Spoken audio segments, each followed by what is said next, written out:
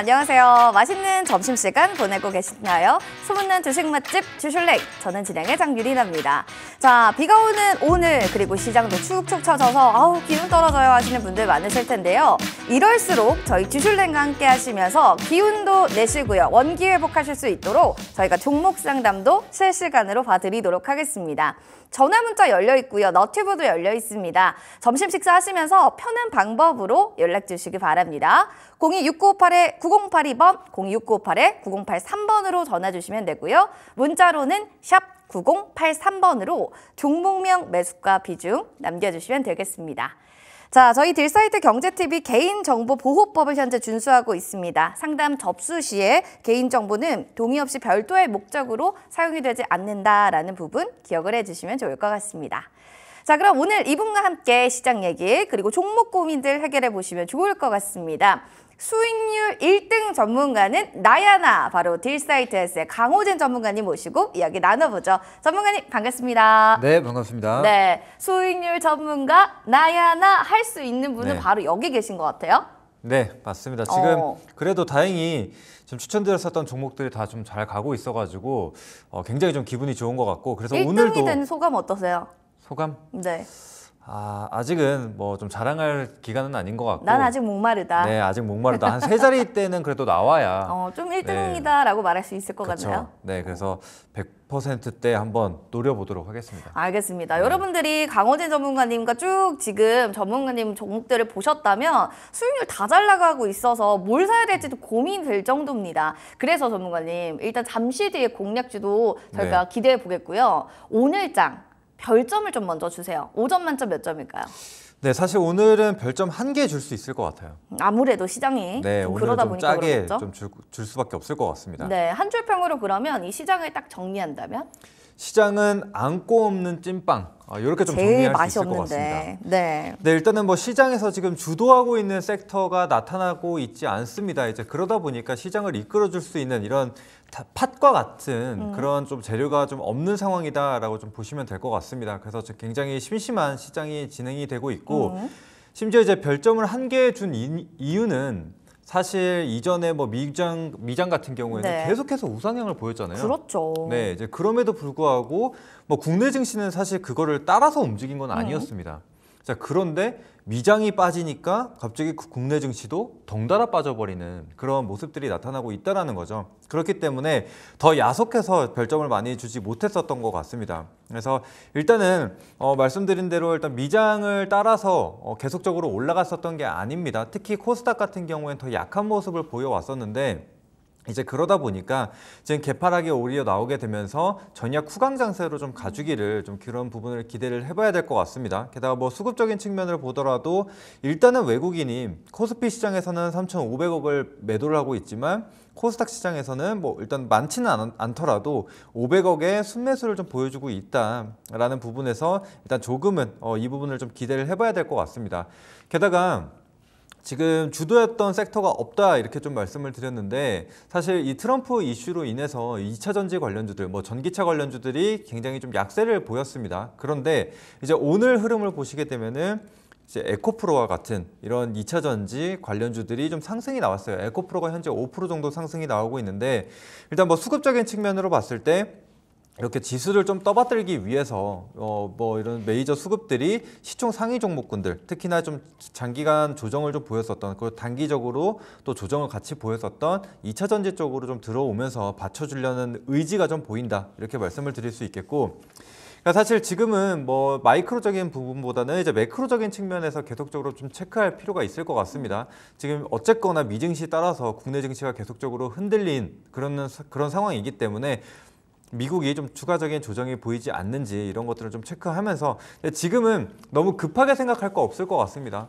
그래서 계속적으로 실적이 좋아지는 기업들 혹은 바닥권에서 바닥을 좀 다지고 있는 충분히 지금 그런 여유가 있는 종목들을 봐주시면 좋을 것 같습니다. 음, 알겠습니다. 어쩔 수 없어요. 우리가 시장 여파가 있기 때문에 이런 부분들을 좀 감내해야 되고 비도 오고 시장 여파 없을 때는 그냥 좀 이걸 즐기는 것도 우리가 또 하나의 방법인 것 같습니다. 자, 즐길 때 어떻게 즐기느냐? 저희 주식 또 소문 맛집이 바로 주슐랭 아니겠습니까? 주슐랭과 함께 재미있게 이런 시장도 즐기는 방법들 알려드릴게요. 벌써 뭐 너튜브에 우리 브릿지님, 무지개님, 꿈돌이님, 지혜님 또 오랜만에 오셨네요. 다 오고 계신데요. 너튜브로도 종목 고민들 지금 환영하고 있습니다. 종목명, 매수가 비중, 너튜브 딜 사이트, 경제TV 검색하셔서 남겨주셔도 되고요.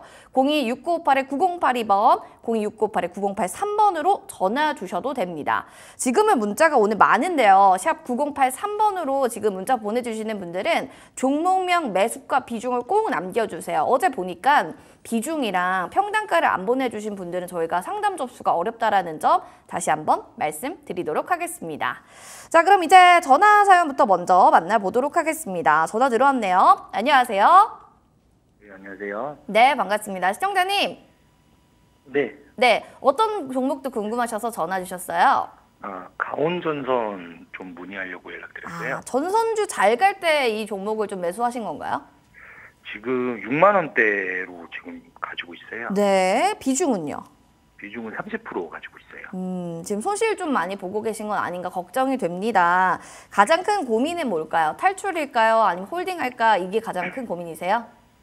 일단은 이게 뭐 어떻게 대응을 해야 될지를 음. 좀 알고 싶어가지고 네. 연락드렸거든요. 알겠습니다. 대응 전략 저희가 좀 알려드릴게요. 자, 우리 또 1등 전문가 강호진 전문가님. 네. 지금 대응하고 싶다라는 부분이 가장 크거든요. 네. 음, 대응을 하려면 우리가 현명하게 해야 될 텐데 이럴 땐 좀 어떤 대응이 가장 좋을까요? 네, 일단은 뭐 시장 얘기를 좀 안 할 수가 없는 상황인 것 같아요. 그래서 말씀드린 대로 지금 이제 코스피 시장 같은 경우에는 사실 뭐 전선주들도 굉장히 좀 강하게 같이 상승을 보여주게 되면서 코스피는 계속적인 상승을 좀 보여주기는 했었습니다. 이제 그러다 보니까 지금 코스피가 고점 구간에서 좀 조정이 나와주고 있는 만큼 당연히 이 고가권에 있는 종목들이 조정을 보일 수밖에 없는 부분이라고 생각을 하거든요. 그러다가 이제 전선주들 같은 경우에도 여러 차례 좀 상담을 좀 해드리고 있는데 이 가온전선이라는 기업도 보면은 15,000원 구간에서 75,000원 부근까지 올라왔었습니다. 그래서 상승폭을 보게 되면은 거의 400% 가까운 상승을 보였기 때문에 절대 적은 상승폭이 아니었다. 그래서 항상 이렇게 고가권에 있는 종목을 매매를 할 때는 추가적인 조정이 나오는 부분, 그다음에 항상 추세가 꺾일 것을 염두를 해두고 매매를 하실 필요가 있습니다. 그래서 일단은 뭐 가온전선이라고 하면은 이 LS 그룹의 이제 계열사라고 보시면 되겠고 또 이 3대 전선 기업이라고 보시면 됩니다. 그래서 최근에 뭐 전력 설비나 전선주들에 대한 수요가 높아지게 되면서 당연히 수혜를 보고 실제로 좀 수익도 좋아지고 있는 그런 기업이 기업인 거는 맞는데 이제 아까 말씀드린 대로 이미 400%의 상승을 좀 보이는 상황이기 때문에 지금은 계속적인 숨고르기가 좀 이어지고 있다라고 좀 보시면 될 것 같습니다. 그래서 시장 조정과 함께 이런 고가권에 있는 종목은 당연히 따라서 조정을 좀 보일 수밖에 없다라는 점 참고를 해주시고 자 일단은 그래서 우선적으로 시장이 일단 지지를 받아주는지 반등이 나와주는지 이런 것들을 1차적으로 체크를 해주시고 그다음에 추가적으로 가운전선의 차트를 한번 보면서 안내를 드려보도록 하겠습니다. 자 현재 차트를 한번 보시게 되면은 이제 4만 5천 원 구간에서 이 고점과 저점이 형성이 됐었던 것을 보실 수가 있습니다. 일단 그렇기 때문에 1차적인 지지 구간으로 4만 5천 원 정도를 잡고 보셔야 되는데 사실 4만 5천 원 구간을 보시면은 이 노란 박스가 크게 쌓여 있는 게 보이시죠? 이제 매물대라고 볼 수가 있는데 여기서 그만큼 거래도 많이 일어났다. 그래서 신규 진입자들도 이 구간에 많기 때문에 지지 역할을 해줄 가능성이 상당히 높은 가격대입니다. 그런데 만약에 추가적인 조정을 보여주면서 4만 5천 원을 이탈한다. 라고 한다면은 사실상 지금 비중이 30% 정도가 되시는데 최소 어, 비중 축소는 좀 하셔야 되지 않을까라는 생각을 하거든요. 그래서 다시 한번 전선주들, 뭐 전력주들 쪽으로 좀 강한 모멘텀이 좀 작용, 발생을 하거나 아니면 추가적으로 지금 이 가운전선뿐만이 아니라 모든 이 전선주들이 전반적으로 다 같이 움직이는지를 좀 체크를 하셔야 되거든요. 그래서 그런 것들을 좀 확인하시면서 대응을 하시면 좋을 것 같습니다. 네, 시청자님 아무래도 그 업황적인 부분, 섹터적인 측면들의 이런 흐름들이 중요한 것 같거든요. 네, 네, 이런 흐름을 좀 잘 살펴보시기 바라겠습니다. 네, 알겠습니다. 좀 기운이 너무 없으셔서 저희가 선물 드리면서 좀 용기를 갖도록 하겠습니다. 어, 떡 선물 세트 텀블러 있는데요. 어떤 선물로 좀 저희가 도움이 될 수 있을까요? 어, 저는 밥을 잘 못 챙겨 먹어서 음. 떡으로 하겠습니다. 알겠습니다. 밥 잘 챙겨 드시라는 의미로 저희가 떡 선물 세트 보내드릴게요. 네, 감사합니다. 네, 고맙습니다. 자, 이렇게 해서 전화 상담 받아봤고요. 이어지는 문자 사연들도 만나보도록 하겠습니다. 오하나 이호번님의 S&D 살펴보도록 하겠습니다. 41,383원의 14% 종목 지금 비중 담고 있습니다. 라고 해주셨는데요. 바로 좀 살펴보도록 하겠습니다. 오늘 39,250원에 좀 움직이고 있는 상황이에요. 전문가님 좀 여쭤볼까요? 좀 손실권에 있는 종목들이 오늘 사연에는 굉장히 많이 담, 등장하는데 그럴 만한 네. 게좀 시장 여파를 많이 받잖아요. 그렇죠. 음, S&D도 좀 그런 측면 으로 봐야 될까요? 네, S&D는 그래도 다행인 거는 뭐 5만 원 이상에서 잡지 않으셨다는 게 참 다행인 것 같습니다. 참 다행이다. 네. 그래서 사실 뭐 4만 원에서 4만 1,500원 지금 이 매수가 부근에선 사실 한 번쯤은 좀 진입했을 만한 좀 가격대기는 합니다. 근데 한 번의 기회가 주어졌는데 이때 진입을 하신 건지 어, 전에 진입을 하신 건지는 모르겠으나 일단은 지금 전반적으로 이 흐름들을 봤을 때 식료품 관련주들도 굉장히 크게 상승을 보였었고 S&D 같은 경우에도 이제 불닭볶음면의 소스 제조사로 부각을 받게 되면서 어마어마한 상승을 좀 보였거든요.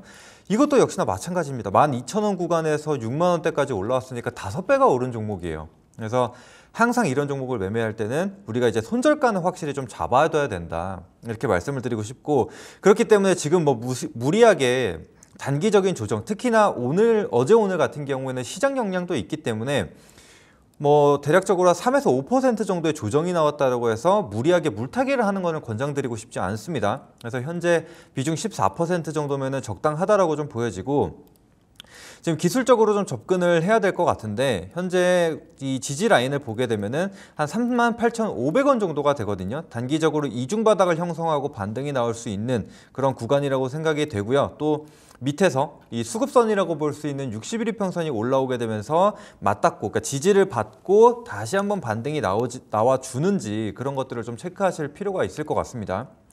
자, 그리고 이 추세 전환이 되게 되려면 지금 이중 바닥에 대해서 말씀을 드렸는데 지금 딱 이 매수가 부분이 넥라인에 걸쳐 있는 자리거든요. 그렇기 때문에 지금 거래량 지금 거래량을 보시면은 뭐 사실 오늘 2만 주 막 이렇게밖에 나오지가 않고 있어요. 그런데 적어도 이 구간에서 유의미한 반등을 만들어내기 위해서는 적어도 50만 주 이상은 좀 발생을 하면서 이 41,500원 구간을 돌파하는 게 확인이 필요하거든요. 그래서 돌파하게 될 경우에는 일단은 짧게 좀 보시는 게 맞을 것 같아요. 그래서 목표가 같은 경우에는 뭐 4만 5천 원 정도로 이전 고점 이 저항을 한 두세 차례 정도 받았었던 가격대이기 때문에 어, 물량을 무시 못합니다. 그래서 그 구간으로 좀 짧게 잡아두시고 그 다음 흐름 을 보게 되면은 뭐 21 이평선 구간에서 크게 이탈하지 않는다면은 조금 더 가져가 보셔도 좋고 근데 그렇지 못하고 역시나 좀 단기 추세를 좀 깬다라고 한다면은 전량 매도 하시는 게 그래서 계속 말씀드리지만 이렇게 고가권에 있는 종목들 계속 뭐 신고가 매매를 했었던 종목들 같은 경우에는 항상 조정 이후에는 이제 예전만큼 그런 퍼포먼스를 기대하기는 어렵습니다. 이미 이- 여기에 대한 모멘텀을 다 받고 상승이 나왔었기 때문에 그 이후로는 사실 변동폭이 좀 굉장히 작을 수가 있거든요. 그래서 예전처럼 수익 뭐 이 기대 수익률을 높게 잡기보다는 조금 잘- 짧게 잡으시고 트레이딩 관점으로 계속적인 반복 매매를 하시는 것을 권장드리도록 하겠습니다. 음, 알겠습니다. 트레이딩이 좀 중요할 것 같아요. 일단 모멘텀 다 받고 있는 고가 종목들은 20일 이평선 이탈되지 않는지 이 부분을 좀 체크를 해 주신 다음에 대응하시길 바라겠습니다. 이 부분에 대해서는 좀 확인이 필요할 것 같습니다. 자, 다음으로는 좀 전화 상담 만나보겠습니다. 전화 왔네요. 시청자님 안녕하세요. 네, 안녕하세요. 어 반갑습니다. 목소리가 또 너무 또 저희 애청자님이 아니실까 생각이 드는데 주슐레 언제부터 시청하셨어요? 저는 첫 방부터 신청했습니다. 아 감사합니다. 또 어떻게 이렇게 첫 방송부터 쭉 애청해 주고 계셔서 너무 감개무량합니다. 어떤 종목 좀 들고 계신지 이야기 들어볼까요? 어, NC소프트요. NC 소프트요. 평단가 비중 알려주실 수 있나요? 20만 원에 비중은 30%예요. 음, 손실권에 있는 종목이네요. 지금 보니까요. 네. 게임을 좋아하셔서 이 종목을 좀 선택하셨나요?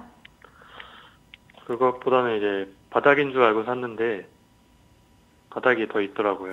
아, 알겠습니다. 더 이상의 또 이런 이유를 듣지 않아도 어떤 마음이신지가 좀 이해가 되는 것 같아요. 바로 전문가님께 여쭤보겠습니다.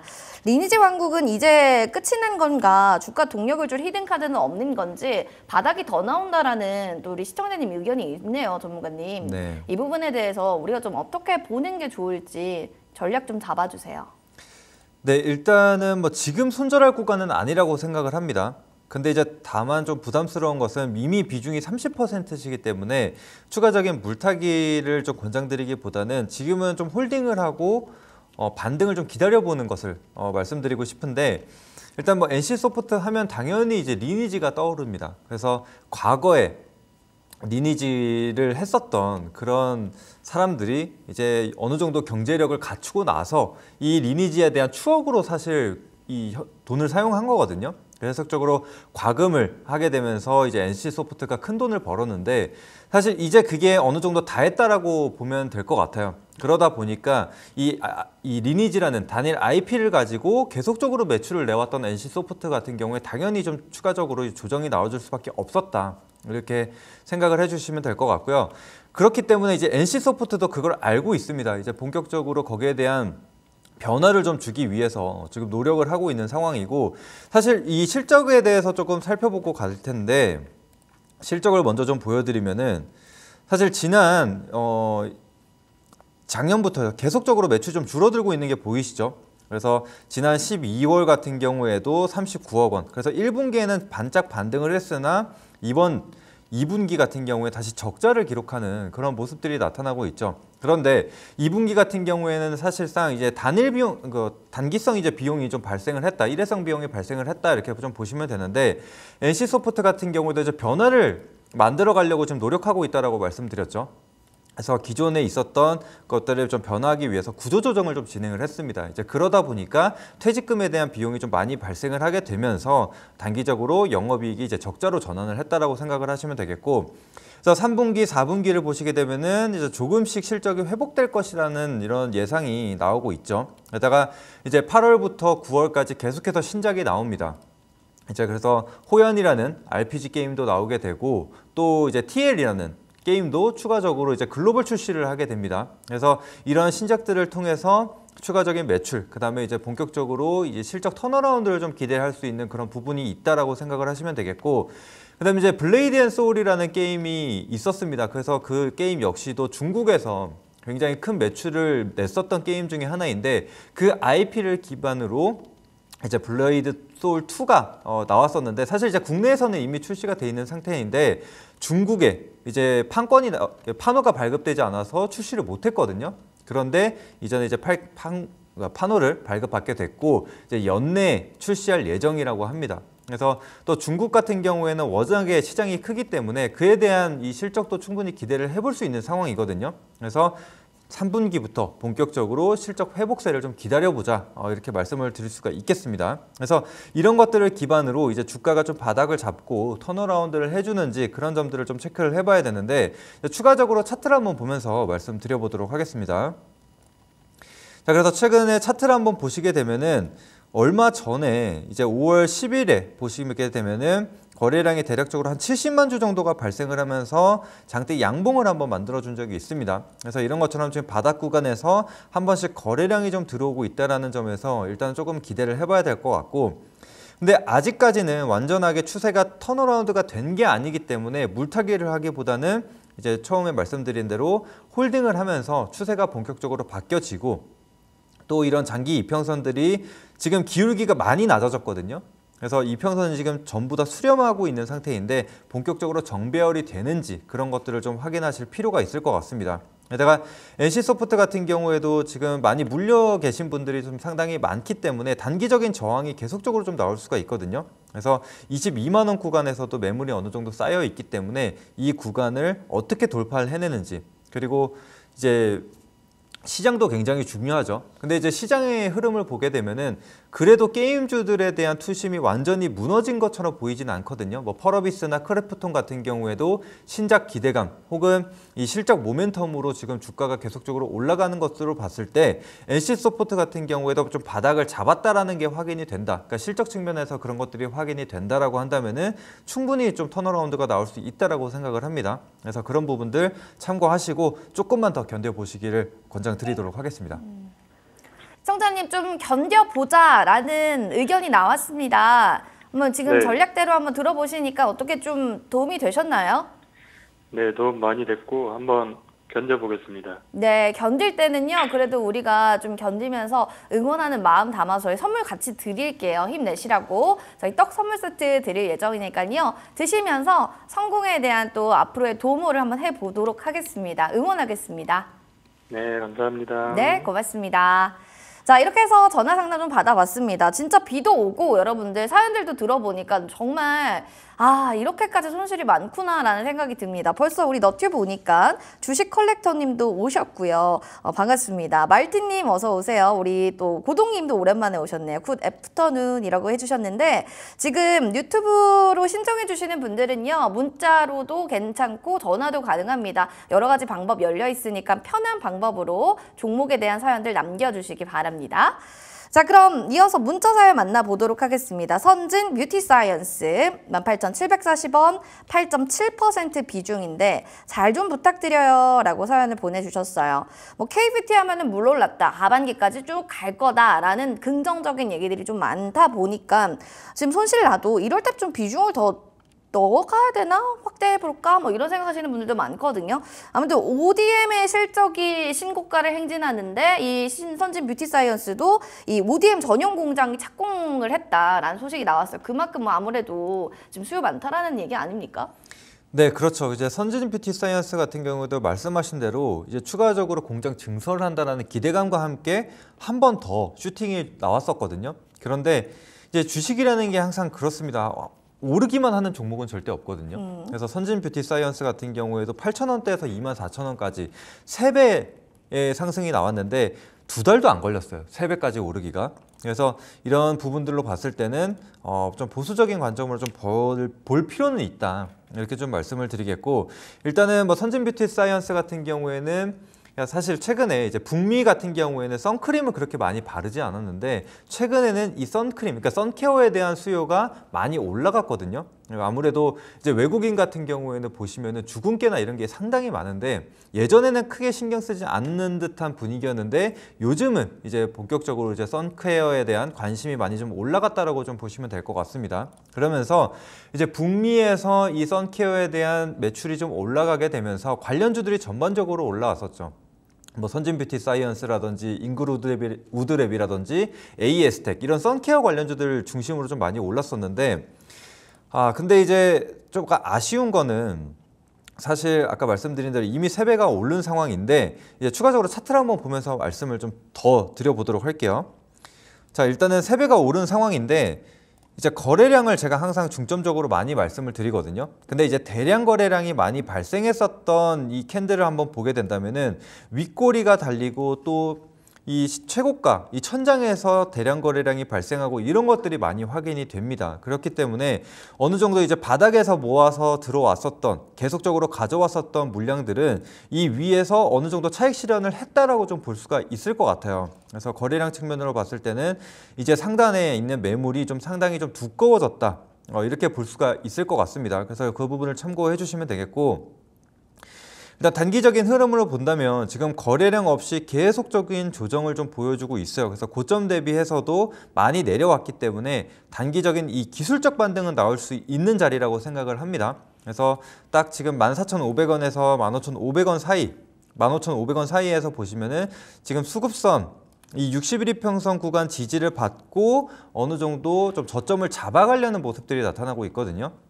그래서 여기서 좀 반드시 지지가 되어 하는 것을 좀 체크를 하실 필요가 있습니다. 근데 만약에 이제 15,000원 구간을 이탈하게 된다면 사실상 이미 바닥에서 산 사람들은 전부 다 수익이기 때문에 물량이 더 나올 수도 있거든요. 그래서 그런 부분들을 항상 염두를 해두시고 최소 14,500원은 꼭 지켜야 한다. 이렇게 생각하고 봐주시면 될 것 같습니다. 자, 그런데 이제 매수가가 18,700원이라고 하셨는데 이 18,700원대 이 매물을 보시게 되면은 이때가 가장 많아요. 그리고 아까 말씀드린 대로 대량 거래량이 터졌었던 가격대가 딱 그 가격대이기 때문에 상당히 좀 부담스럽습니다. 그래서 만약에 올라오게 되더라도 아 이제 막 본전 왔으니까 내가 수익까지 좀 더 기다려 봐야지 라고 하시기보다는 지금 비중을 어, 많지는 않지만 그래도 비중을 좀 축소해 두시고 좀 더 가벼운 마음으로 좀 봐주시는 게 어떨까 싶습니다.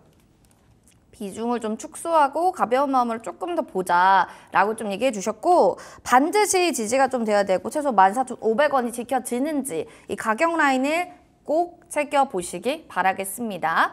자, 그럼 이렇게 해서 좀 얘기 들어보고요. 번호 여러분들 남겨주시기 바랄게요. 샵 9083번으로 어떤 선물 좀 받고 싶으신지 그리고 선택되신 분들은 꼭 번호랑 뭐 선물에 대한 이야기들 남겨주시고요. 지금 전화도 열려 있기 때문에요. 전화 06958-9082번, 06958-9083번으로 전화 남겨주시면 바로 저희 종목 상담 가능하다라는 점 확인해 주시기 바랍니다.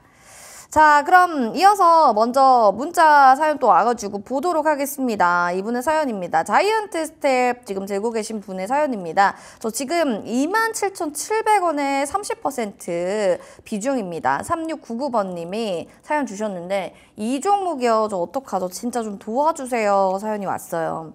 그럴 수밖에 없는 게 7,710원. 지금 와 엄청 손실권이 있는 종목이 계속 빠지고 있기 때문에 고가권을 좀 들고 있는 게 아니었을까? 이걸 지금이라도 어떻게 던지는 게 맞나? 아니면 기다려서 기도 매매가 필요한 종목인가?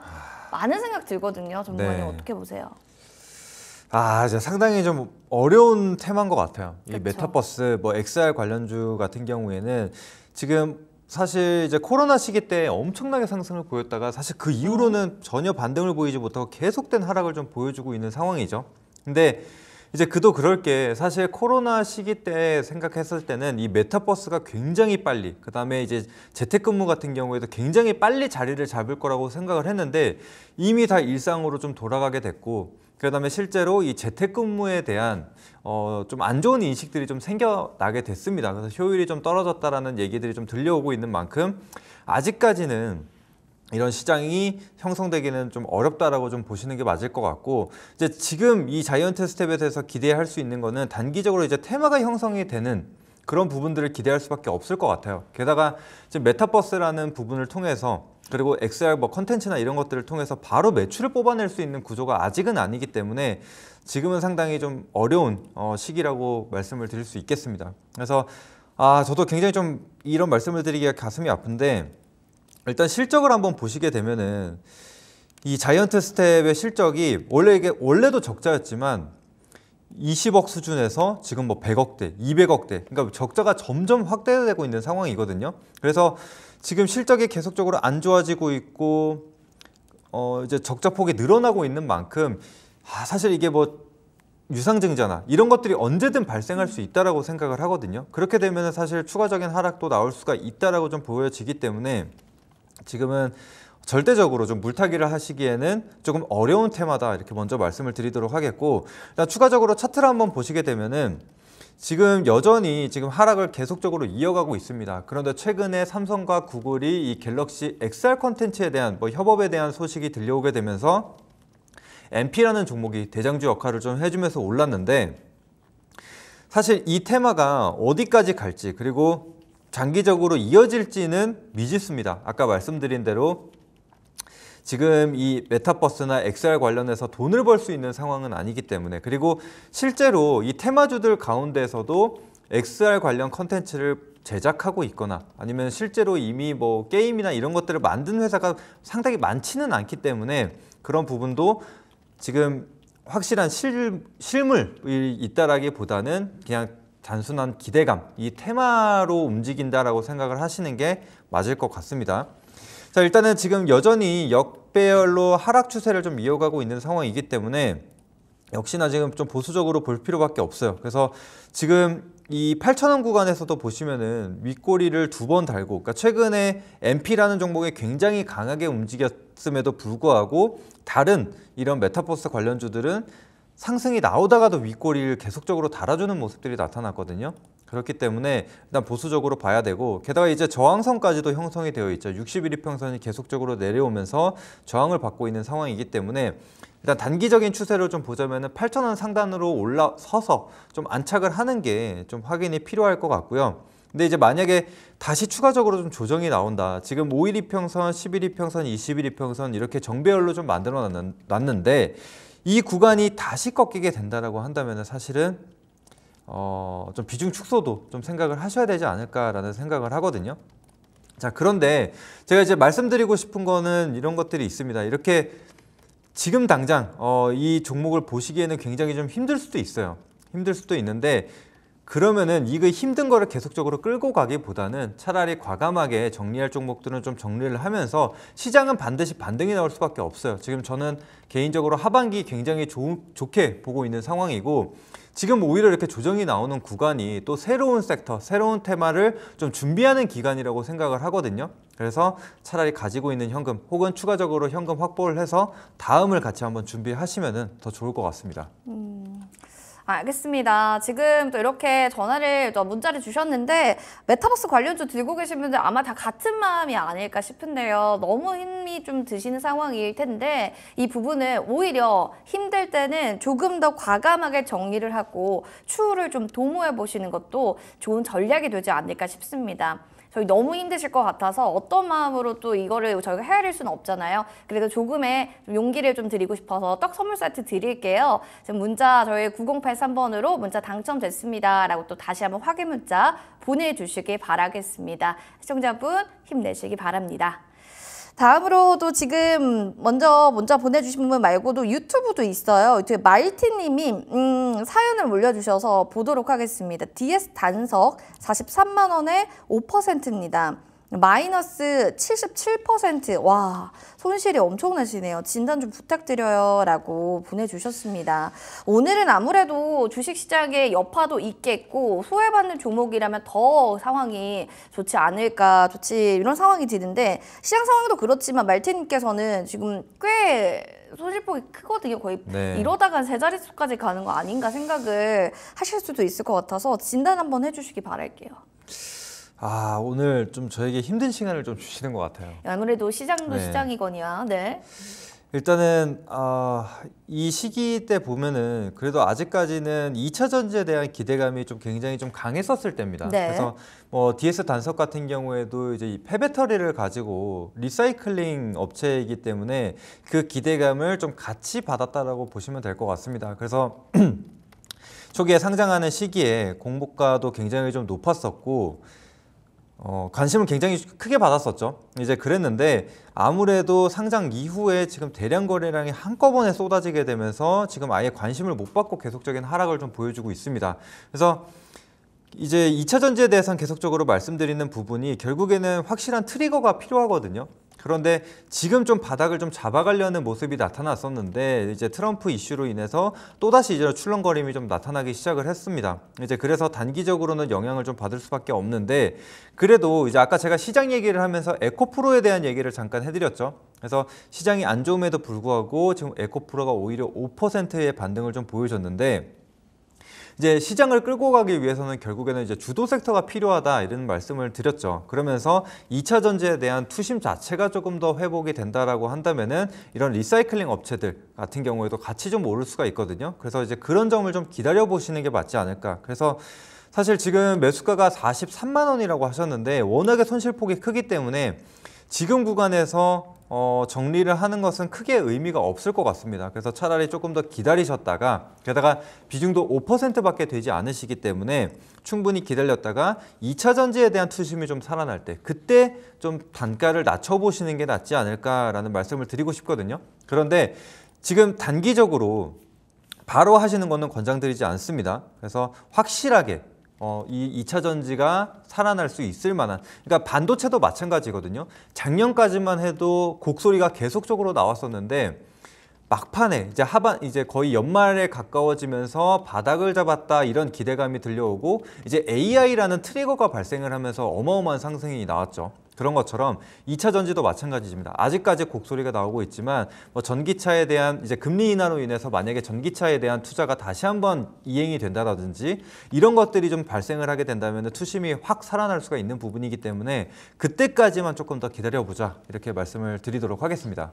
음, 일단 좀 기다리는 게 또 중요할 것 같습니다. 우리 말티님께서 아 창피해요 라고 했는데 단타를 좀 하시려고 하셨나 봐요. 그래도 괜찮습니다. 좀 기다려 보시면서 저희와 함께 ES 전략들 그때마다 다시 사연 주세요. 전략 잡아드리도록 할게요. 그리고 또 강호진 전문가님 하면 여러분들 아시죠? 수익률 1등 전문가입니다. 잠시 뒤에 그럼 어떤 종목을 봐야 돼 하시는 분들은 수익의 맛에 나오는 탑픽주 확인해 보시면 좋겠습니다. 자 앞서 문자 신청해 주셨던 3699번님 그리고 말티님 샵 9083번으로 저 오늘 종목 당첨됐습니다 라고 문자 남겨주세요. 제작진 전화 갈 거예요. 선물 받으시고 또 힘내시기 바랍니다. 자, 이렇게 해서 또 저희가 종목에 대한 고민들 하나하나 정리를 좀 해봤고요. 이어서 전문가님의 또 수익률 1등 전문가죠. 어떻게 어떤 종목들이 잘 가고 있는지 먼저 화면을 통해서 종목들 만나보도록 하겠습니다. 자, 강호진 전문가의 수익의 맛 top 5입니다. 여러분들 딱 보시다시피 너무 시원스러운 상승률 나타나고 있죠. 블루엠텍, 케어젠, 서연이화 그리고 리가캠 바이오까지 모두 다 수익률이 쑥쑥 올라가고 있는데요. 그 중에서도 top of top은 STX 그린로지스입니다. 32.07%의 강한 상승률 보여주는데 리뷰 지금부터 들어보도록 하겠습니다.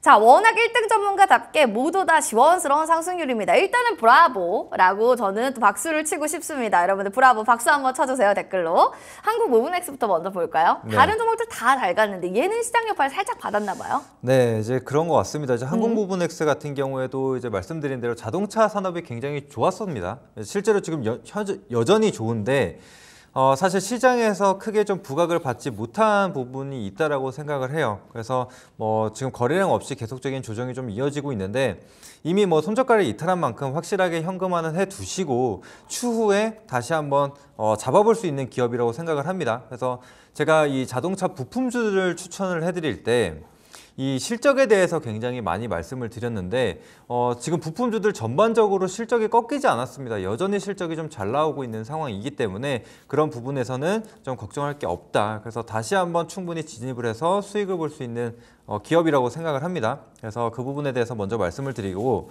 일단은 단기적으로 지금 시장 영향까지 받- 받아가지고 지금 저점을 깬 상태인데 만약에 어, 이 반등이 바로 나오게 되면서 이전에 이제 다중바닥을 형성을 했었던 가격 4,500원 구간을 지켜준다라고 한다면은 사실 단기적인 이 기술적 반등도 기대를 해볼 수 있는 구간이라고 생각을 하거든요. 그래서 지금 차트 보시는 대로 이때 이렇게 계속적으로 지지를 받고 있는 게 확인이 되실 겁니다. 그래서 이 구간이 좀 중요하다. 그래서 만약에 4,500원을 지켜준다라고 한다면은 한 번 더 보셔도 좋고 근데 이 구간을 힘없이 이탈하게 된다. 왜냐면 아직 거래량이 눈에 띄는 거래량이 발생하지 않았기 때문에 충분히 추가적인 조정도 나올 수 있다라고 저는 보고 있거든요. 그래서 그런 것들을 좀 염두를 하고 이탈하게 된다면 차라리 충분히 기다렸다가 오히려 더 낮은 가격에 기회를 준다면은 그때 진입해서 수익을 한번 봐보자 이렇게 말씀을 드리도록 하겠습니다.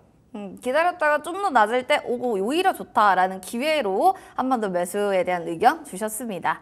자 그럼 이어서 케어젠도 보겠습니다. 지금 보면 7월 15일에 얘기해 주셨고 7.17%의 상승률을 보여주고 있는데 25,500원까지 지금 목표가 달성 얼마 남진 않았거든요. 그리고 캔들이나 차트적인 측면들에서도 이대로만 가면은 뭐 1차는 무난하게 갈수 네. 있겠다는 생각이 드는데 비중 확대도 괜찮나요? 신규의 진입은 어떻게 보시고 여기에 대한 좀 시나리오 전략 잡아주세요. 네, 일단은 아, 이제 시장 영향이 좀 있기 때문에 바로 이제 신규 추가적인 진입은 그다음에 이제 뭐 불타기 같은 경우에도 조금은 부담스럽다라고 말씀드리고 싶습니다. 그래서 차라리 지금 보유하고 계신 분들 혹은 음, 이미 뭐 1차 수익을 챙기신 분들이라면 계속적으로 그냥 부담 없이 가져가시면 될 것 같고요. 왜냐면은 지금 케어젠 같은 경우에 제가 25,500원으로 잡아 드렸는데 지금 이 시장 영향도 같이 좀 받고 있다 보니까 계속적인 좀 저항이 좀 발생을 하는 것 같거든요. 그래서 그 부분을 좀 체크할 필요가 있을 것 같고 근데 이제 제가 강조드리고 싶은 것은 지금 이 케어젠 같은 종목도 제가 지난번에 이제 말씀을 드렸던 게 뭐냐면은 지금 고가권에 있는 종목들 상당히 부담스럽다. 왜냐 상승폭이 적지 않았기 때문에 이런 종목에 대해서 무리하게 리스크를 가져가면서 수익을 내기보다는 차라리 바닥권에서 안정적으로 부, 부담 없이 이런 종목이라면 흔들림 없이 가져갈 수 있다는 게 굉장히 장점이거든요. 그래서 이제 그런 부분에 대해서 좀 말씀을 한번 더 드리고 오늘 준비한 종목도 마찬가지로 좀 바닥권에 있는 종목이거든요. 그래서 케어젠을 잡지 못하신 분들이라면 제가 이제 오늘 좀 소개해드릴 종목을 같이 한번 봐주시면 좋을 것 같습니다. 어, 알겠습니다. 아, 저걸 잡았어야 됐는데 아쉽다 하시는 분들은 분명 있을 겁니다. 그렇다면 지금부터 수익의 맛 여러분들 잠시 뒤에 지금 top pick 종목이 공개될 예정인데요. 이런 수익률을 저도 갖고 가고 싶어야 하시면 지금부터 저희 힌트 나갈 겁니다. 힌트 맞춰보시면서 top pick주를 예측해 보시면 좋겠네요. 자, 그럼 강우진 전문가님의 수익의 맛 top pick주 문제 화면 으로 먼저 힌트 만나보시죠. 자, 수익의 맛 힌트입니다. 히읗, 디귿, 미음, 비읍, 시옷 이렇게 초성으로 다섯 글자가 종목 명이 될 것 같고요. 자세한 설명은 전문가님 의견 한번 들어볼게요. 네. 전문가님 설명 부탁드립니다. 네, 일단 뭐 그림에서 보다시피 대략적으로 유추가 좀 가능하실 거라고 생각을 하거든요. 그래서 좀 두 가지로 좀 축소를 해드리도록 하겠습니다. 자, 이제 물류 자동화냐, 음. 이제 로봇이냐, 음. 이렇게 두 가지 힌트를 한번 드려볼 텐데 한번 맞춰보시겠어요? 음, 저 자동화 쪽이 아닐까 뭐 네. 그런 생각도 들고 사실은 저 산업군을 두 개로도 나눌 수가 있을 것 같거든요. 아까도 네. 말씀하셨다시피 어, 다른 부분들은 뭐 현대 현대 멘보샤 뭐 이런 것도 있고요. 네. 어, 한 대만 뭐 이런 것도 있고 다섯 글자라고 하니까 일단 세 글자는 아니겠네요. 네. 다섯 글자는 모르겠지만 산업군으로 본다고 하면은 아무래도 자동화 쪽이 아닐까 싶기는 한데 뭐 그건 맞나요? 그쪽은? 네, 자동화 쪽이 맞습니다. 자동화 쪽은 맞는데 네. 종목명을 여러분들이 좀 맞춰주시면 좋겠어요. 호두맛 버섯. 카디님 이렇게 또 센스 있는 네. 오답을 환대 묘비스 뭐 이렇게도 있고요. 호두맛 박스. 자 여기서 마음에 드는 걸로 우리 전문가님이 하나 네. 선택하신 다음에 그분 선물 주시고 설명해 주세요. 아, PD님한테 드려도 되나요? 어 그럼요. 네. 충분하죠. 저는 개인적으로 현대 멘보샤 예, 음, 드리고 싶네요. 지금 드시고 싶은 거 아니에요? 아, 네, 저도 멘보샤 굉장히 좋아합니다. 어, 네. 네. 그럼 피디님께 선물 주시고요. 그다음 네. 설명 부탁드립니다. 네, 일단은 뭐 현대 어, 저 종목 공개를 어, 네. 하죠. 종목은 이제 뭘까요? 오늘 현대. 네. 네. 현대 무벡스라는 종목을 좀 무벡스. 준비를 했는데 네. 이 기업 같은 경우는 이제 물류 자동화 사, 이 사업을 계속적으로 해오고 있습니다. 이제 30년째 해오고 있는 기업인데 뭐 이 기업 같은 경우는 현대 그룹사 이제 계열 계열사로서 계속해서 이 역할을 해오고 있는 상황이라고 좀 보시면 될 것 같습니다. 자 그런데 이제 지난해부터 이 대형 수주가 계속적으로 이제 밀려 들어오고 있는 상황이거든요. 그래서 지난해 같은 경우에는 이 수주를 4천억을 따내게 되면서 사상 최대 수주 실적을 만들어냈습니다. 자 그런데 지난해로서 끝나는 게 아니라 올해까지도 계속적으로 이어지고 있다는 게 굉장히 중요한 내용이거든요. 그래서 이래, 이제 1분기 이 상반기가 이제 마무리가 됐는데 상반기 기준으로 봤을 때 이 신규 이 수주가 3천억을 돌파를 했습니다. 그래서 지난해는 한 해 동안 4천억이라는 수주를 따냈는데 올해 같은 경우에는 이미 상반기에 3천억의 수주를 따낸 상황이기 때문에 여전히 올해도 그 분위기들이 이어지고 있다라고 생각을 하시면 될 것 같습니다. 그래서 올해 같은 경우에도 사상 최대의 이 수주를 따낼 수 있을 것이라고 좀 예, 기록을 경신할 것이라고 좀 보여지고 그다음에 이제 추가적으로 이제 실적을 한번 봐야겠죠. 그래서 실적이 얼마나 좋아질 것이냐 이 부분을 좀 체크를 해야 되는데 자 일단은 매출액부터 체크를 하면 1,700억부터 지난해 2,600억까지 올라왔습니다. 자 그런데 영업이익을 보시게 되면은 어 매출은 많이 나왔는데 영업이익은 많이 줄었네 이렇게 생각을 하실 수가 있습니다. 자 그런데 이게 나쁘게 볼 게 아니라 왜 줄었는지를 생각을 해봐야 되거든요. 근데 이제 현대 무벡스 같은 경우에는 물류 자동화를 하고 있었지만 사실 여러 산업에 갱- 많이 들어가고 있지만 최근에 신사업으로 지금 진행을 했었던 게 바로 2차 전지 내 공장에 들어가는 이 자동화를 어, 신사업으로 선정을 했습니다. 그러면서 이제 거기에 대한 투자가 발생을 하다 보니까 지난해에는 매출은 좋았지만 영업이익이 좀 적었다. 그래서 이게 실제로 수익성이 떨어진 게 아니라 다른 부분에 좀 투자를 하다 보니까 이제 줄었다라는 부분입니다. 그래서 영업이익에 대해서는 걱정할 게 없다라고 좀 말씀을 드리고 싶고 그다음에 지금 뭐 부채 비율을 보더라도 뭐 50%대, 그다음에 유보율은 1000%를 좀 넘어가게 되면서 돈이 계속적으로 쌓이는 게 어, 보이실 겁니다. 그래서 실제로 좀 돈을 벌고 있다라는 건데 그리고 아까 말씀드린 대로 수주가 굉장히 많이 쌓여 있다라고 했는데 이게 실제로 돈이 지금 되고 있나?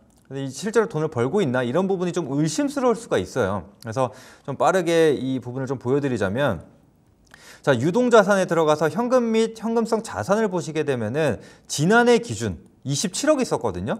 어, 193억 있었거든요. 그런데 올해 1분기에 보시면은 554억으로 실제로 현금이 많이 들어온 게 확인이 되고 또 이 영업 활동으로 인한 현금 흐름을 보시게 되면 22년도, 23년도는 돈이 빠져나갔지만 올해 1분기에 462억이 들어온 게 볼 수가 있습니다. 그래서 이렇게 실제로 이제 회사에 현금이 돌아가고 있다라는 게 확인이 되실 겁니다. 이런 것들을 기반으로 이제 올라갈 수 있다라는 거고 이제 빠르게 좀 차트 한번 보면서 가격 전략까지 안내 드려보도록 할게요. 자, 현대 무벡스 같은 경우에도 이전에 5천원 고가를 찍고 나서 계속적인 조정을 좀 받고 있습니다. 근데 현재 이렇게 삼각 수렴의 큰 패턴을 좀 만들어가고 있는 자리다. 게다가 수렴 구간에 거의 다 와 있기 때문에 이런 실적 모멘텀으로 인해서 본격적으로 턴어라운드를 만들어갈 수 있는 그런 구간이라고 생각을 하거든요. 그래서 이 부분을 참고해 주시면 될 것 같고요. 그래서 가격 전략까지도 한번 안내를 드려보도록 하겠습니다. 자 이제 매수는 바로 가능하실 것 같습니다. 3,000원에서 3,050원 사이에서 진행을 해주시면 될 것 같고 1차 목표가 같은 경우에는 단기적으로 좀 매물이 쌓여 있고 이전에도 계속적인 조, 어, 저항을 받았었던 3,600원, 3,600원을 1차 목표가를 잡도록 하겠고요.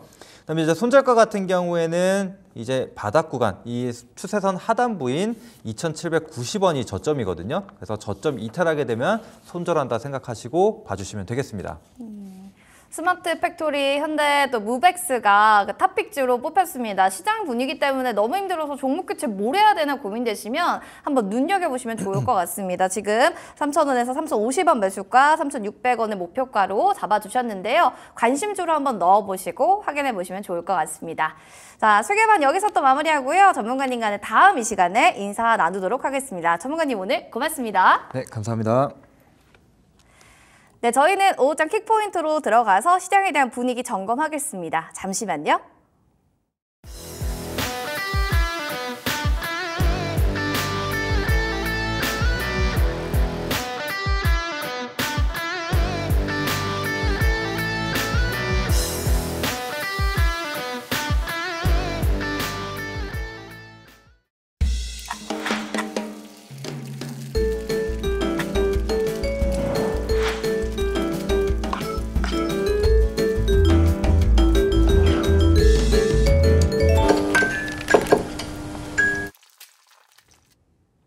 네, 오장 킥포인트의 황윤기입니다. 오늘도 시장에서 주목하고 있는 상승 업종과 하락 업종 알아보고 오장 전략까지 짜보겠습니다. 자, 장 초반 반도체 관련주가 일제히 떨어졌습니다. 미국에서 바이든 대통령과 트럼프 후보의 발언이 영향을 준 탓이기도 하고요.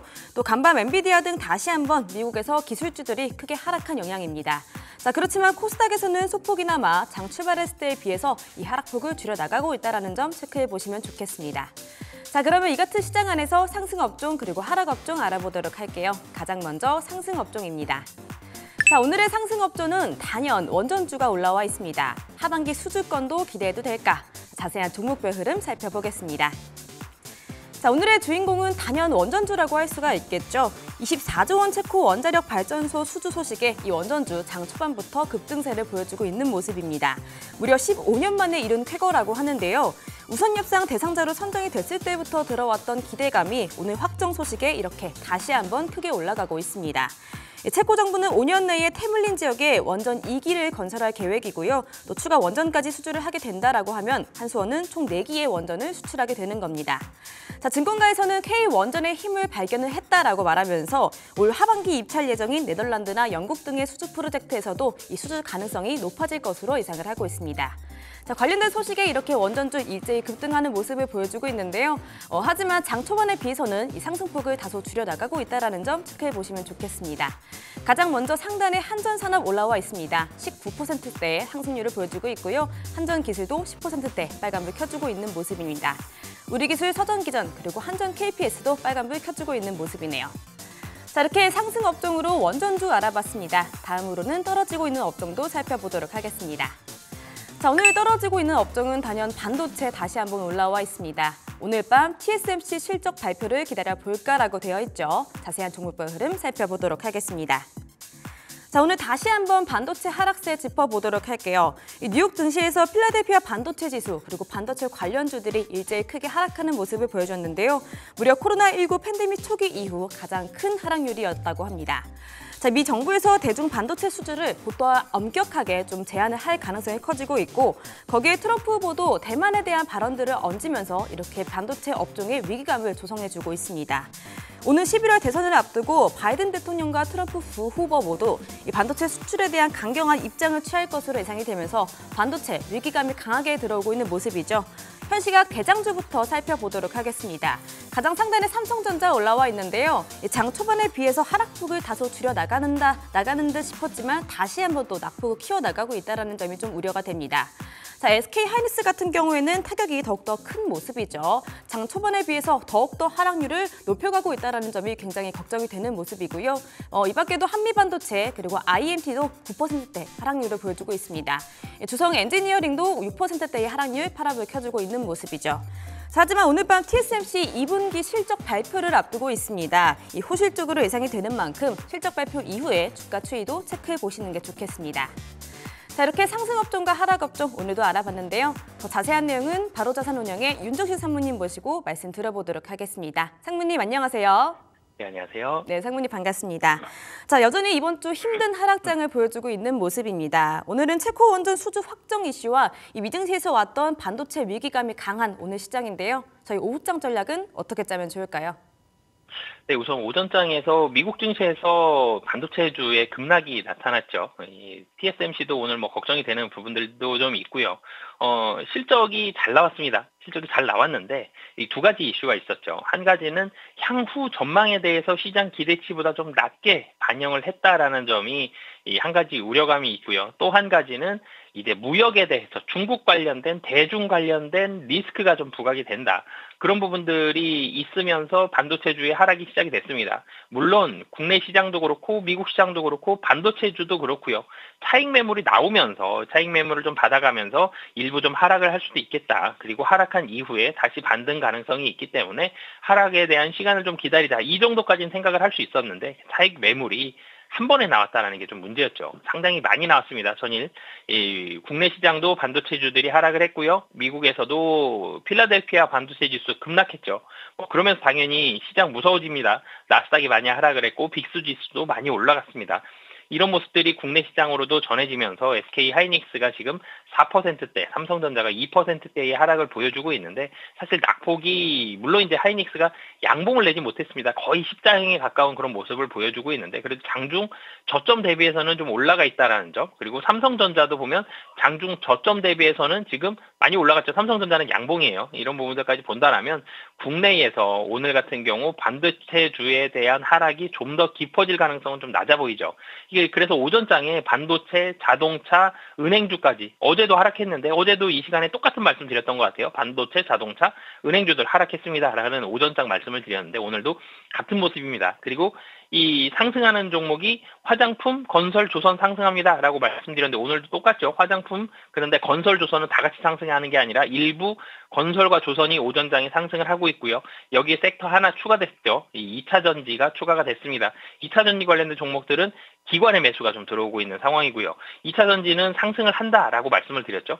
이 2차 전지에 대한 비중이 코스피보다 코스닥에서 좀 더 높기 때문에 코스피의 하락이 코스닥의 하락보다 좀 더 깊은 게 2차 전지 비중이 높은 코스닥이 좀 더 잘 만회해졌죠. 그래서 하락폭을 좀 줄여줬기 때문에 오전장에서 코스피가 코스닥보다 낙폭이 좀 더 깊다. 그리고 반도체주에 대한 비중이 코스피가 코스닥보다 좀 더 높죠. 코스피가 그래서 좀 더 하락이 깊은 그런 모습이 오늘 오전 시장에 나타났습니다.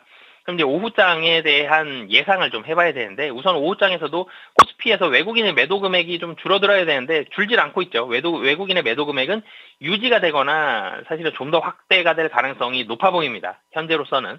이 그렇기 때문에 외국인의 매도 사실 줄어들면 굉장히 좋아요. 줄어들면 시장 반등 상당히 좀 빠르게 할 텐데 그건 기대감이고요. 확, 가능성, 확률로 봤을 때는 외국인의 매도 금액은 좀 더 늘어날 가능성이 오늘은 좀 높아 보이고요.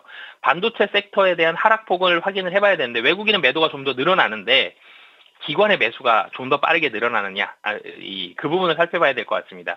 외국인의 매도를 이 반도체에 대한 하락, 외국인의 매도로 하락을 했는데 이 하락한 이후에 조금 하락폭을 이, 좁혀준 건 기관의 매수였거든요. 이 기관의 매수가 좀 더 적극적으로 오후장에 들어오는지 여부를 이 반도체 관련된 종목들을 통해서 좀 살펴봐야 될 것 같고요. 이제는 실적에 대한 눈을 하반기로 돌려봐야 될 것 같습니다. 하반기에 실적에 대한 기대감이 높은 종목들, 이 지금 2분기 실적 좀 부진해도 돼요. 이 하반기 실적에 대한 기대감이 좀 높은 종목들 위주로 좀 편안한 상승이 나타날 가능성이 높거든요. 이 주가가 많이 떨어져 있으면 좀 더 마음이 편합니다. 이 화장품도 그렇고요, 2차 전지도 그렇고 건설, 조선 다 하반기 실적 기대감 높은 종목이거든요. 어제도 말씀드렸지만 하반기 실적에 좀 더 포커스를 맞춰서 보셨으면 좋겠고요. 반도체에 대한 기관의 매수 여부, 그 매수 금액이 얼마나 커질 수 있는지 이 부분이 오늘 시장의 낙폭을 결정할 수 있는 가장 큰 요인이다라고 보시면 되겠습니다. 네, 역시 오늘도 코스피의 외국인 수급 흐름과 이 반도체가 하락폭을 얼마나 줄여낼 수 있을지가 관건인 것 같습니다. 자, 이렇게 오후장 전략 들어봤습니다. 상무님 말씀 고맙습니다. 네, 감사합니다. 네, 지금까지 오후장 키포인트였습니다.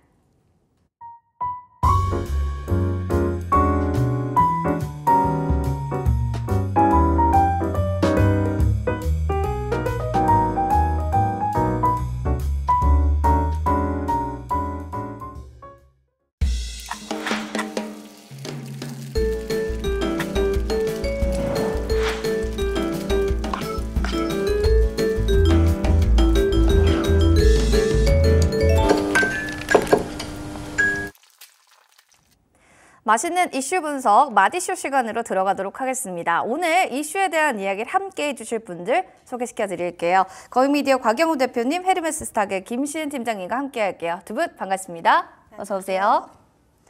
자, 두 분과 그럼 나눠볼 이슈 어떤 내용인지 먼저 첫 번째 이슈 화면으로 만나보겠습니다. 첫 번째입니다. K원전 24조의 수출입니다. 원전의 생태계가 활성화되는 청신호로 봐도 되는 걸까요? 여기에 대한 이야기 자세하게 나눠보도록 하겠습니다.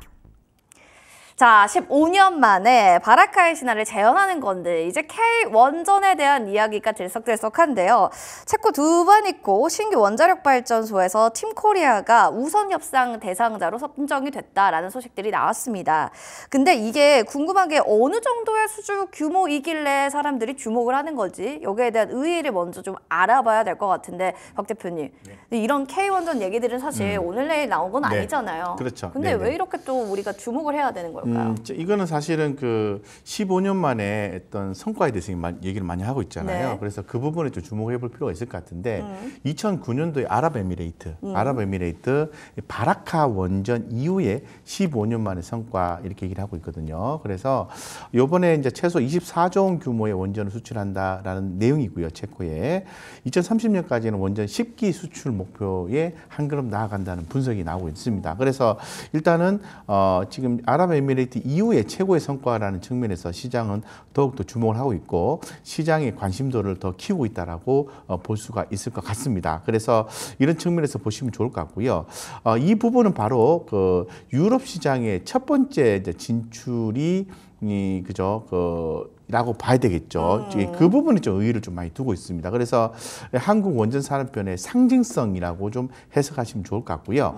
어, 테멜린 지역 원전 2기 추가 건설 시에도 한국 수력 원자력 컨소시엄 우선 협상 대상자를 또 약속을 받았다는 거. 이거는 이제 추가적인 모멘텀 확장에 대한 기대감이 유효하다라는 네. 거거든요. 그래서 예, 테멜린 추가 건설 시에 총 사업비가 대략 한 40조에서 50조 정도 전망을 한다고 합니다. 이에 대한 기대감이 있고요. 제가 기 말씀드린 것처럼 네. 2030년까지 어, 10기 수출 목표 그래서 폴란드, 영국, 네덜란드 등에도 추가 수주에 대한 기대감이 있기 때문에 이번에 원전 수주에 대한 규모는 어, 재료 가치 분석 차원에서 봤을 때는 상당히 의미가 있다라고 볼 수 있게 되는 거죠.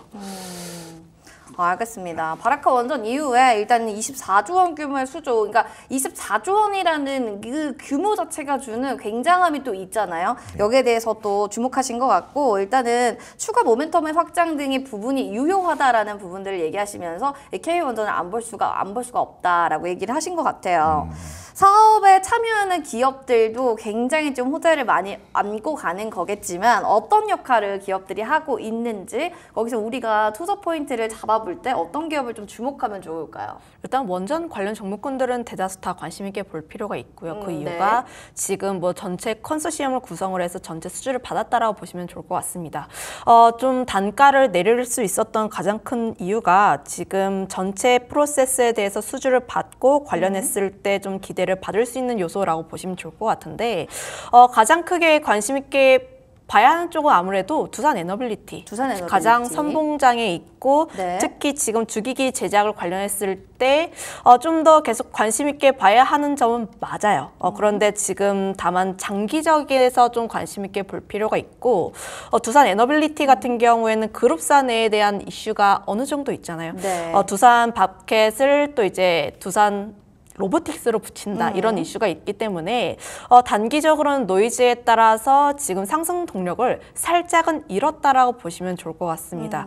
음. 어, 지금 단기적으로 보게 되었을 때 두산 에너빌리티 같은 경우는 좀 약간 쉬어갈 가능성이 높다라고 보시면 좋을 것 같고 다만 두산 에너빌리티가 원전만 하는 게 아니라 또 다른 뭐 신재생 에너지라든지 굉장히 다양하게 가스터빈이라든지 하고 있는 분야가 굉장히 많기 때문에 어, 중장기적으로 수혜를 볼 가능성이 굉장히 높다라고 보시면 좋을 것 같고 어, 그 다음에 지금 좀 관심 있게 보고 있는 게 한전 기술이라는 한전 기업인데 기술. 다 오늘 좋네요. 어, 한전 기술이 지금 한 거의 이등주삼등주 쪽으로 움직이고 네. 있는데 지금 보통 원전을 수주를 하면은 설계를 해야 하는데 음. 어, 가장 먼저 좀 돈을 받을 수 있는 기업입니다. 음. 어, 지금 뭐 운영을 하게 되었을 때 29년부터 운영이 좀 예측이 되어 있고 관련했을 때 실제 시공까지는 살짝 시간이 조금 더 네. 멀어질 수 있다라는 내용들이 나오고 음. 있기 때문에 그렇다면 지금 수주는 받았고 그럼 당장 돈을 받을 수 있는 기업이 어떤 기업인지에 대한 내용들이 어, 다시 한번 더 나올 가능성이 크다라고 보시면 좋을 것 같은데 한전기술이 지금 뭐 설계 관련 기업이기도 하고요. 어, 설계를 했을 때는 굉장히 단기간에 가장 큰 매출을 받을 수 있는 기업이다 보니까 이 기업에 대해서도 우리가 조금 더 관심 있게 바라볼 필요가 있지 않을까라는 의견 드려보도록 하겠고 그 이외에 뭐 우진이라든지 뭐 계측기 사업을 하고 있고 한전 KPS 혹은 한신기계, 우진엔텍 굉장히 다양한 기업들이 있는데 네. 어, 이런 종목군들 역시도 조금 더 관심 있게 바라볼 필요는 있지 않을까. 다만 내가 단기적으로 접근하고 싶다 하시는 분들이라면 어, 현재 지금 가장 힘이 센 사람 쪽을 붙는 게 맞아요, 사실은. 1등한테 붙어라 이 말을 하고 싶으신 건가요? 네, 일단 제가 앞서 이야기를 했던 거는 이제 뭐 기술적인 그- 그 부분에서. 기술적인 부분보다는 이제 그 내용적인 측면에서 음. 좀 긍정적으로 바라보는 쪽이고 한전산업 같은 경우에는 오늘 가장 먼저 상에 들어갔습니다. 어, 지금 모든 힘이 다 한전산업으로 들어가 있는데 네. 결국 내가 단기적으로 혹은 이제 테마성으로 조금 더 붙게 된다면 아무래도 수익률이 가장 빠를 수밖에 없고 그리고 내가 물리더라도 조금 더 빠르게 나올 수 있는 쪽은 테마로 할 때는 하- 항상 1등 하시면 돼요. 아, 알겠습니다. 테마로 할땐 1등을 해라. 알겠습니다.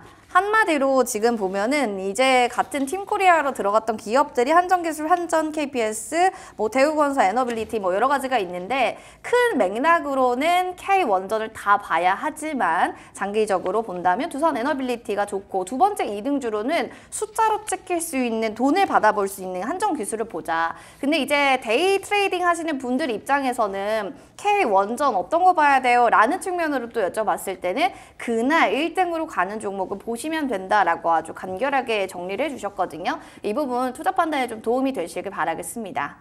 자, 2030년에 원전 10개 수출을 목표 달성이 좀 가능한 건지 K원전의 진출 기대감이 굉장합니다. 대표님. 그래서 우리가 어느 포인트에서 투자를 좀 하면 좋을 건지 이런 부분도 짚어주시고 이제 10개 수출 목표 가능성이 있느냐 없느냐 여기에 대해서 얘기 좀 해주세요. 음, 굉장히 방대한 내용을 네. 예, 말씀드려야 될 것 같은 느낌이 드는데 우리 이제 개인 투자자분들 입장에서 봤을 때는 이 단기적인 어떤 모멘텀을 통해서 이 수익을 확보할 수 있느냐가 굉장히 중요 한 중요해요. 거거든요. 그쵸. 그래서 가장 먼저 그 참고를 하셔야 되는 거는 일정 모멘텀입니다. 일정 모멘텀. 예, 그래서 어, 좀뭐 wide하게 전체적으로 말씀드린 건 이미 다 말씀을 좀 드린 것 네. 같습니다. 같고요. 어, 저 일정 모멘텀 좀 축소해서 좀 말씀을 좀 드리면은 일단 추가적인 모멘텀이 존재하고 있다라고 생각하시면 됩니다. 그래서 원전 어, 체코 수주뿐만 아니라 어, 모멘텀인데 이제 8월에서 9월 달에 이번에 이제 사실 이 원전 관련된 종목들이 오늘 사실 힘을 좀 잃어가고 있거든요. 네. 힘을 잃어가는 이유는 뭐냐면은 기대 감이 반영이 되었다라는 아. 측면이 있을 것 같고 두 번째는 시장에 대한 어떤 흐름이 상당히 음. 약화되고 있기 때문에 어 좀 그 매도 물량들이 나옴에 따라서 힘을 힘을 약화하고 있지만 적절한 가격 조정 다음에는 재차 상승할 가능성이 있다는 거죠. 음. 자 그렇다면은 이제 상승 트리거로 작용할 수 있는 인적 모멘텀이 있느냐라는 부분에 대해서 우리가 한번 알아봐야 되는데 음. 네. 음. 세 가지 정도로 말씀을 드리고 싶습니다. 첫 번째는 이제 지금이 7월 달이니까 8월에서 9월 달에 신한울 원전 3, 4호기 입찰 결과 발표가 있습니다. 이때 또 모멘텀이 작용할 거고요. 어, 일정은 정해지지 않았습니다만은 어, 3분기에 2050, 3분기를 하면은 어, 10, 11월 어, 그저, 그저 뭐 8, 8, 9, 10이죠, 그죠? 그래서 어, 지금 2050 중장기 원전사업 로드맵 발표가 있습니다. 그래서 아무래도 뭐 어떤 내용이 나올지는 봐야 되겠지만 긍정적으로 나올 가능성이 있겠죠. 더불어서 또 폴란드 원전 프로젝트 보조기기 입찰 결과 발표가 있고요. 어, SMR 소형 모듈 원전- 원전이죠. 예, 그래서 선진국 도약 전략 발표 이런 내용들이 다 일정 모멘텀이 있기 때문에 네. 어, 추가적인 모멘텀이 충분히 존재하고 있다라고 어, 볼 수가 있습니다. 있기 때문에 어, 관련된 종목들을 좀 꾸준히 좀 보시는 게 예, 좋겠다 이렇게 좀 말씀드리겠습니다. 음, 우리 박 대표님은 그래도 좀 이렇게 꾸준히 볼만한 섹터로 좀 눈여겨 보시는 것 같은데 네. 8, 9월에 원전 3, 4호기 입찰 결과 어떻게 되는지 확인해 음. 보시고 2050 원전 산업의 발표가 어떤 식으로 청사진을 그릴 건지 네. 여기에 대한 예상안도 여러분들이 확인해 보시면 좋겠다라고 음, 이야기를 정리해 드리겠습니다. 원전에 대해서 얘기를 했는데 지금 힘을 잃어가고 있다는 얘기도 아까 해주셨고요. 물량이 많이 나오는데 음, 우리 팀장님께서는 그 이유가 뭐라고 생각하시는지 이걸 좀 말씀을 여쭤볼 수밖에 없어요. 왜냐면 지금 단기로 하고 계신 분들 계실 테니까 그리고 좀 장기적으로도 전략 좀 잡아주실래요? 일단 오늘 하락에 대한 이유는 결과를 좀 기다렸던 부분들에 대한 차익 매물이라고 보시면 좋을 것 같고 어, 특히 지금 뭐 원전 관련 종목군들이 지금 선정이 된다라는 기대감으로 인해서 함께 달려갔는데 오픈이 되면 서부터 좀 이제 세로 뉴스로 작용하는 경향들이 있습니다. 특히 오늘 시장 자체가 어, 굉장히 어려, 어려운 상황 속에서 지금 대장주 종목군이 상이 풀리면서 빠르게 도망쳐야겠다라는 심리가 어느 정도 작용이 된 것으로 보여지고 있으나 어, 다만 저는 이제 원전 관련 종목군들 같은 경우에는 다시 한번 자리를 잡 봤을 때 관심을 가져볼 필요가 있지 않을까라는 의견을 드려보도록 하겠고 어, 그 이유가 저는 항상 이제 원전 관련 종목군이 이제 이벤트를 앞두게 되었을 때 네. 물론 이제 뭐 확률이 조금 더 높았다고 하긴 하지만 결과는 아무것도 모르는 거고 어, 실제로 이제 프랑스가 EU 쪽에 있다 보니까 그 부분을 배제를 할 수밖에 할 수가 없었다. 어, 그래서 좀 이제 결과 발표가 되기 전까지는 조금 관망하는 게 맞지 않았을까였는데 지금 굉장히 긍정적으로 오픈이 되었고 이제 굉장히 다양한 국가들로부터의 이제 수출 기대감도 함께 나와 있는 국면이라고 생각을 하고 있어서 어 지금은 원전 관련주 다시 한번 바라볼 필요가 있지 않을까. 오늘이 좀 이제 그- 굉장히 갭을 많이 띄어서 상승한 부분들이 있는데 어 다만 오늘 이슈에 대한 첫 번째 상승이라고 보시면 좋을 것 같고 다시 한번 추가 상승에 대한 기대감이 상당히 남아 있다라고 보시면 좋을 것 같습니다. 어 장기적으로 보게 되었을 때도 굉장히 긍정적일 수밖에 없는데 어 제가 미국 증시와도 함께 연결 지어서 보면은 네. 미국 에서 뉴스케일 파워라고 ticker명이 SMR이라는 기업이 있어요. 어, 지금 미국에서 굉장히 긍정적인 법안이 나오면서 4달러 이, 이하였던 종목이 16달러까지 올랐습니다. 그런데 우리나라는 그거에 못 따라갔고요. 특히 지금 긍정적인 내용들이 다시 한번 더 나오게 되면서 추가적인 상승이 더 나오지 않을까. 만약에 뉴스케일 파워가 함께 다시 한번 움직이고 미국 쪽에서 기술주들 다시 한번 움직이면서 함께 움직일 때 우리나라 원전 관련 종목군들도 다시 한번 움직일 가능성이 굉장히 크다라고 판단을 하고 있고요. 거기다가 더해서 장기 산업에 대한 부분으로 보게 되었을 때 결국 전력 수요에 대한 부분들은 계속해서 늘어날 수밖에 없는데 데이터 센터 같은 경우는 결국 전 력을 얼마나 안정적으로 공급을 하는지가 중요한 부분들. 그런데 아직 신재생 에너지라든지 이런 부분이 잘 안 돼 있다 보니까 원전을 계속 사용할 수밖에 없는 부분들, SMR이라든지 이런 부분들 같은 경우는 계속해서 증가할 수밖에 없다고 보시면 좋을 것 같고, 어, 동유럽도 보게 되었을 때 그동안 이제 천연가스라든지 LNG 쪽을 굉장히 많이 사용했는데, 어, 러시아 전쟁 터지게 되면서부터 점점 그 비중을 줄여 나가고 있는 상황들, 그러면 그에 대한 대안을 원전 쪽으로 또 찾고 있는데, 우리가 또 체코에서 수주를 받았기 때문에, 어, 다시 한번 동유럽 쪽에 대한 기대감 기대감도 한 번 더 살아볼 수 있다라는 점을 감안을 했을 때 저는 지금 이제 물론 이제 매출로 찍히기까지는 이제 좀 시간은 걸릴 수가 있지만 굉장히 규모가 큰 사업인 만큼 기대감을 가져볼 수 있는 구간대라고 보시면 좋을 것 같습니다. 큰 모멘텀이 강한 상승력을 보이려면 한 방이 있어야 되는데요. 조금 조금씩 뭔가 이렇게 큰 힘을 응축하고 있다라고 좀 정리를 내릴 수가 있을 것 같습니다. 어, 뉴스케일 파워의 흐름도 좋으니까 뭐 K 원전에 관련해서도 국내 추이도 살펴보시죠. 자, 곽시은 팀장님은 K 원전 두산 에너빌리티 얘기해 주셨는데 곽 대표님은 과연 어떤 종목을 one pick으로 선택을 하셨을까요? 곽 대표님의 one pick 종목들 그럼 화면을 통해서 만나보도록 하겠습니다. K 원전주가 쭉 나와 있네요. 이 지금 서전기전, 우리기술, 보성파워텍 여러 가지 종목들 안에서 곽 대표님의 one pick은요. 네, 역시나 두산 에너빌리티가 top picks로 뽑혔습니다. 두 분 오늘 좀 통하셨는데 곽 대표님, 음, 정말 1등만 봐야 됩니까? 아, 1등만 보는 차원보다는 네. 어, 뭔가 좀 두산 에너빌리티의 어떤 지분 가치의 변화가 있게 되는 거죠. 이 거기에 이제 집중하게 되면은 음. 네. 시장 상황이 이제 어려운 상황에서도 이런 지분 가치가 음. 변화되면서 기업 가치가 올라가는 그런 이슈가 있게 되면은 주가는 이제 하방 경직성을 확보해주고 상방에 대한 가능성이 높기 때문에 아하. 지금처럼 주가가 약간 조정 가능성이 있는 네. 어, 초입 국면에 진입한 상태라면은 요즘 조금 그 하방을 좀 확보하는 어, 상황에서 분할 매수 관점 들어가면 된다라는 입장에서 말씀을 드리는데 핵심적으로 좀 말씀을 드리면 아그 어, 일단 두산밥캣 투자법인의 7,200억 원의 차입금을 일단은 넘기게 되는 거죠. 두산 에너빌리티 입장에서. 그러니까 부채를 넘긴다라는 거예요. 네. 이 부채를 넘긴다는 것은 그만큼 재무적 안정성을 확보를 하게 되는 거고 그 밖에 뭐 큐벡스라든가 D20이라든가 분당 리츠 비핵심 자산을 매각 함에 따라서 순차입금이 무려 1조 2천억 원이 감소가 된다는 겁니다. 상당히 재무적으로 탄탄한 거죠. 그래서 이런 측면은 이 개선된 재무 여력을 가지고 지금 두산 에너빌리티 같은 경우에는 원전 즉 SMR 소형 모듈 원전에 집중하겠다는 거거든요. 여기에 대한 증설로 활용하게 되면은 매출이 기존에 아, 뭐 9조 원대에서 10조 원대까지 끌어올리는 어, 전망이 나오게 있게 되는 거죠. 이런 어떤 자본의 어떤 변화에 따라서 재무적 안정성을 확보를 하고 성장 모멘트까지 확장을 하고 그 다음에 주가가 올라가는 그림을 시나리오를 짤 수 있다는 거죠. 아, 따라서 네. 현재 가격대에서 빠지는 경우라고 한다면 오히려 매수의 기회라고 보여지는 거고요. 이 체코 원전 건설이 실제로 진행이 되는 시점은 2029년도입니다.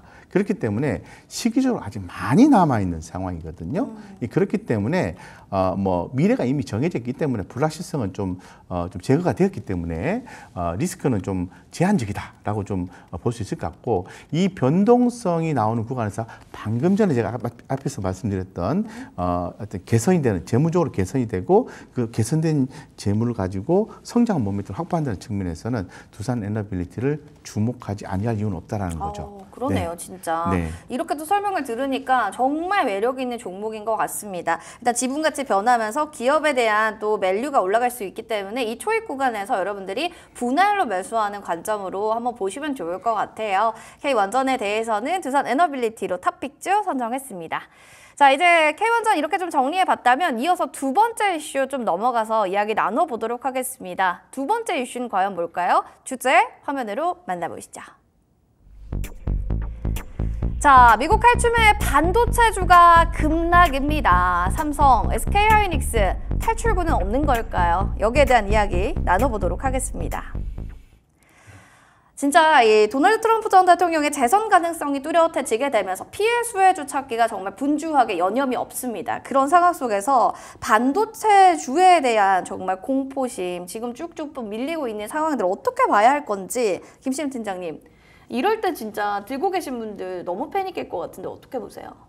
좀 더 기다리시면 될 것 같아요. 괜찮다. 단기적인 네, 그냥 충격이다. 지금 왜 떨어졌냐를 생각을 해보면은 음. 지금 펀더멘털에 문제가 있느냐 혹은 심리적인 문제이냐를 보- 봤을 때 후자라고 보시면 좋을 것 같고 어, 특히 지금 미국 같은 경우에는 뭐 정치적인 노이즈로 인해서 반도체가 좀 이렇게 타격을 많이 받은 상황들 어, 그런데 지금 이들이 과- 하고 있던 내용들이 왜 이런 얘기를 하는지 조금 더 생각해 볼 필요가 있습니다. 이들이 했을 때 발언들은 좀 표심을 잡기 위함이라 보시면 좋을 것 같아요. 먼저 트럼프가 이제 TSMC를 겨냥한 발언들을 먼저 이렇게 원펀치를 날렸고 네. 그 다음에 질세라 바이든 정부도 미중 그 중국에 대한 규제를 더 강화를 하겠다라고 다시 한번 더 이제 좀 때리기를 하는 경향들이 있는데 어, 다만 이런 부분들 같은 경우에 대선을 앞둔 일시적인 흐름들이라고 보시면 좋을 것 같고 관련했을 때 이런 내용들이 우리 시장에 없던 내용들은 또 아닙니다. 그동안 이제 중국 쪽에 대해서 제재를 계속해서 가하겠다. 특히 AI 칩 같은 경우를 중국에 안 팔겠다라는 내용들은 이미 시장에서 먼저 이야기를 했었던 부분들이고 우리도 이를 인지를 하고 있었던 상황이었는데 어, 다만 지금 같은 경우에는 좀 트럼프가 너무 강하다 보니까 관련했을 때 센티적으로 좀 부담이 있었던 상황들 거기에 따라서 기술주들에 대한 차익 실현에 대한 빌미 정도라고만 인식을 해보시면 좋을 것 같고 어, 관련했을 때 지금 제가 앞서 이야기를 했던 부분들이 이 발언들이 좀더 이어지는지 없는지를 조금 더 확인을 해볼 필요가 있는데 어, 다만 이제 반도체 관련했을 때 뭐 TSMC의 실적이 오늘 또 예정이 되어 있고요. 네. 이제 공화당의 마지막 전당대회에서 트럼프가 또 마지막으로 연설을 할 것으로 보여지고 있기 때문에 어, 지금 우리 증시도 그렇고 미국 증시도 그렇고 이런 노이즈들은 먼저 주가에 반영을 먼저 한 상태다. 어, 그러면 이번 주를 기점으로 다시 한번 더 좋아질 수 있는 기회가 더 되지 않을까라는 생각을 하고 있어서 지금 보유하신 분들 더 걱정 안 하셔도 될 것 같고요. 펀더멘털에 문제 없습니다. 어, 그거에 따라서 지금 현- 현금이 있으신 분들이시라면 저는 오히려 눌렸을 때 저가 매수를 하는 기회를 또 활용을 해봐도 좋은 기회라고 생각하고 있습니다. 알겠습니다. 그냥 심리적인 부분에서 이런 이슈 노이즈가 있는 것 뿐이지 기업적인 측면에 문제가 전혀 없기 때문에 흔들릴 때 오히려 위기로 삼고 매수를 조금 더 해보자 라고 얘기를 해주셨어요. 알겠습니다. 그러면 이제 반도체주의 그런 기술의 전환점인가, 뭐 아니면 기술의 시대의 끝인가 여기에 대해서 우리 김신 팀장님 긍정적으로 오히려 더 좋게 가요 라고 했다면 곽 대표님 좀 어떻게 보시는지 삼성전자, SK하이닉스 지금 밀리는 게 좀 강렬해요. 네. SK하이닉스 네. 4%대까지 쫙 빠져서 음. 그렇게 보려고 해도 지금 들고 계신 분들은 그렇진 않을 수도 있거든요. 네, 뭐 삼성전자, SK 하이닉스를 좀 말씀을 좀 드리면은 현재 지금 시장은요. 아까 다 말씀을 드린 것처럼 펀더멘탈의 근간이 흔들리는 건 아니거든요. 아니다. 네, 아니기 음. 때문에 뭐 그대로 보시면은 좋을 것 같고 다만 이제 우리가 이제 투자하시는 분 입장에서 뭐 단기적으로 대응하시는 분과 길게 대응하시는 분의 차이인데요. 이 단기적으로 대응하시는 분들은 어, 차트상 조금 어, 약한 구간으로 들어가고 있기 때문에 어, 비중 축소 후 다시 매수 타점을 잡는 건 좋은데 어, 조금 스토리 라인을 가지고 좀 길게 보시는 분은 또 다른 관점을 접근해야 돼요. 보유인 거죠. 보유를 하면서 추가로 사준다든가 갖고 있는다든가 전략 가져가야 되는데 이 삼성전자 같은 경우에는 가장 짧은 일정 모멘텀이 뭐가 있을까요? 바로 엔비디아 향 HBM3E qual 테스트 통과거든요. 자, 그럼 그게 얼만큼 중요한 이슈냐면은 qual 테스트 통과하게 되면 삼성전자가 돈을 벌게 됩니다. 그쵸. 이 돈을 벌게 되면 그 돈을 가지고 뭘 하냐면은 삼성전자의 에, 파운드리 사업부 쪽으로 돈이 투자가 돼요. 그래서 삼성전자가 어, 그동안 이제 성장성을 다시 한 번 더 어, 이제 D램 낸드 부분의 변동성을 줄이고 어, 안정적인 성장 구조를 가져가려는데 일조가 되는 거거든요. 그렇기 때문에 어, 삼성전자는 주가가 많이 안 빠지고 오히려 그, 그 부분을 기다릴 수 있다는 거죠. 따라서 어, 그런 부분이 만약에 어, qual 테스트가 뭐 통과가 되었다. 뭐 예상하는 것은 뭐 8월이나 3분기 정도로 예상하고 있는데 어, 통과를 하게 되면은 주가는 좀 강하게 위로 상방으로 뚫고 올라갈 수 있거든요. 그때를 생각하시면서 대응하시면 되고요. 어, 두 번째는 SK 하이닉스입니다. 아무래도 SK 하이닉스 같은 경우 흐름이 좀 깨져 있는데 뭐 실적 시즌이니까 우리가 실적을 보고 한번 대응을 해보면 어떨까 싶습니다. 2분기 surprise, earning surprise 얘기를 하고 있고 하반기로 갈수록 낸드, 디램, legacy 반도체 쪽으로 관심이 집중되고 있기 때문에 legacy 반도체 하면은 SK 하이닉스와 삼성전자거든요. 그래서 굳이 어, 민감하게 에, 좀 가져가시는 분 입장에서는 대응할 필요는 없고 짧게 보시는 분은 뭐 아무래도 현상적으로 좀 많이 빠져 있기 때문에 비중을 축소했다가 다시 또 사는 유연한 투자 전략 구사를 해야 되겠죠. 그래서 어, 개인 투자자분들의 어떤 투자하는 그 자신의 스타일에 맞추어서 어, 전략을 좀 수립하시, 수립하시면은 어, 좋지 않을까 싶습니다. 음, 기술적인 전환점이다. 이렇게 좀 정리를 해도 네. 괜찮을 것 같습니다. 삼성전자, 엔비디아 위대한 콜테스트 통과되는지 이거는 아마 삼성전자를 보유하고 계신 분들한테는 정말 중요한 모멘텀이 될 수도 있으니까요. 이 기사들 잘 체크해 보시면 중요할 것 같습니다. 실적을 좀 보고 대응하자라는 얘기에 앞서서 일단은 삼성전자 SK 보조금 때문에 사업 차질을 좀 빚는 건 아닌가 이런 또 발목을 잡을 만한 리스크들도 있잖아요. 시장 경쟁력이 떨어질 수 있는 어떤 요인으로 보세요? 아니면은 그냥 아뭐 좀 헐헐 툴 수 있는 뭐 대수롭지 않은 이슈다 이렇게 좀 볼 수도 있는 걸까요? 후자라고 보고 있고요. 네. 일단 SK하이닉스, 삼성전자 반도체 쪽이 움직였던 근본적인 이야기를 생각을 해보면 음. 엔비디아, 챗 GPT로 인한 AI 시장의 성장들. 어, 지난해 하반기부터 AI 시장이 성장을 한다로 인해서 HBM 쪽에 대한 수혜들로 인해서 움직였습니다.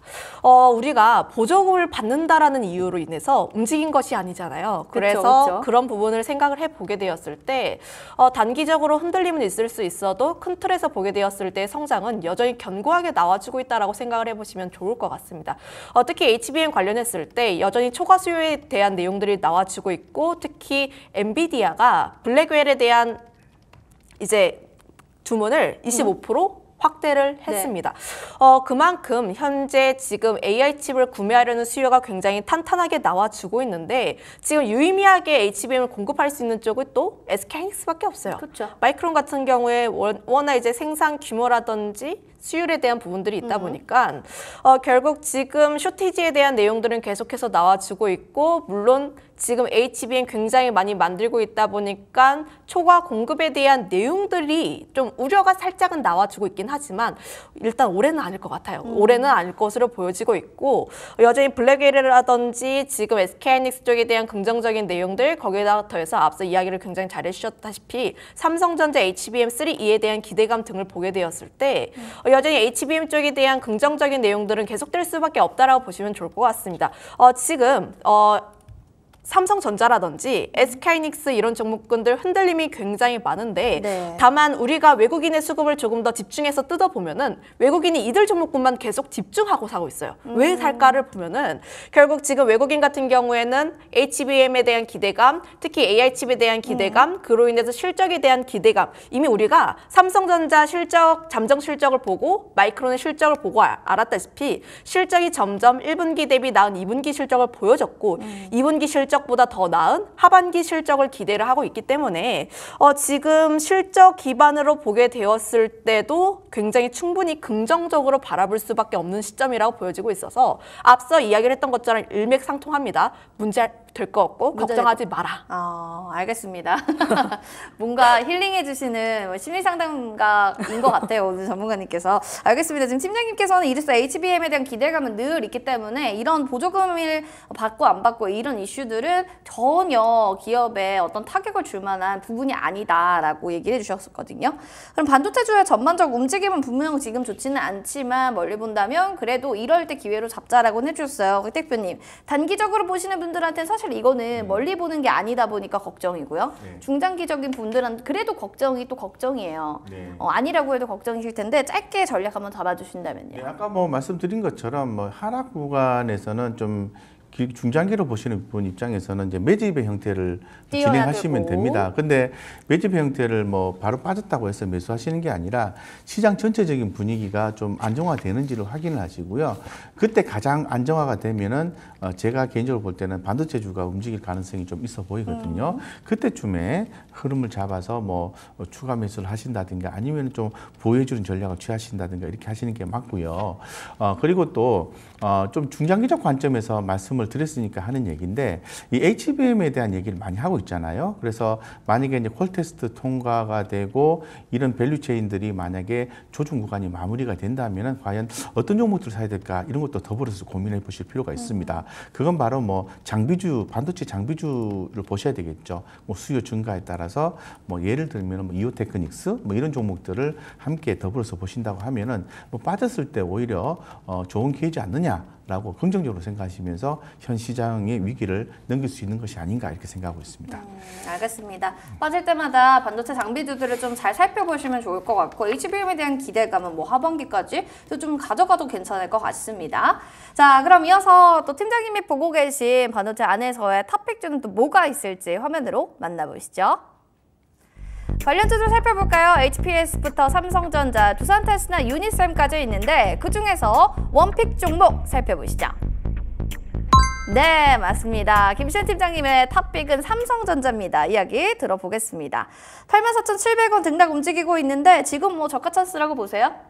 일단 매수하시면 좋을 것 같고요. 음. 그 이유가 우선 반도체 지금 전반적으로 안 좋은데 가장 먼저 반등 이제 수급이라든지 안정적으로 나오게 되면 다시 한번 반등이 강하게 나올 수 있는 섹터가 또 반도체입니다. 그 중에서 현재 반도체 뭐 소부장 대장주 할 것 없이 조금씩 부진한 모습이 나와주고 있긴 하나 오늘 삼성전자와 SK하이닉스 쪽에 대해서 외국인과 기관 매수세가 긍정적으로 나와주고 있는 모습들 특히 다시 한번 긍, 보게 되었을 때 특히 삼성전자 같은 경우가 어, 외국인의 수급이 굉장히 강력하게 나와주고 있다라는 점을 보면은 여전히 상방 같은 경우는 크게 남아있다라고 보시면 좋을 것 같아서 어, 지금 삼성전자 같은 경우 21선 닫고 조금- 조금씩 지지부진하고 있을 때 조금씩 조금씩 분할 매수를 해도 좋은 그런 장세 과- 구간이라고 보시면 좋을 것 같습니다. 음, 알겠습니다. 어, 이렇게 해서 삼성전자 지금 조금 조금씩 좀 모아가 보자라고 해서 토픽주로 얘기해 주셨습니다. 어, 우리 곽 대표님 그리고 팀장님 함께 해 주셔서 감사합니다. 고맙습니다.